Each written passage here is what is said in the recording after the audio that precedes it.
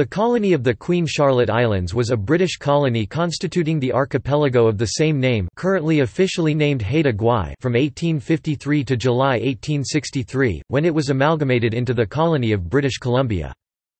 The Queen Charlotte Colony was created by the Colonial Office in response to the increase in American marine trading activity resulting from the gold rush on Moresby Island in 1851.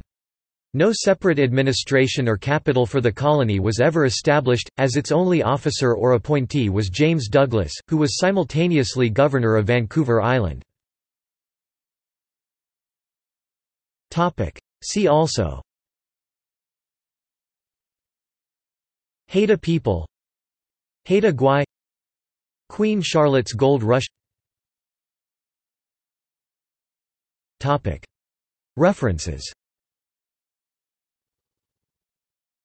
Lillard, Charles. Just east of Sundown, the Queen Charlotte Islands.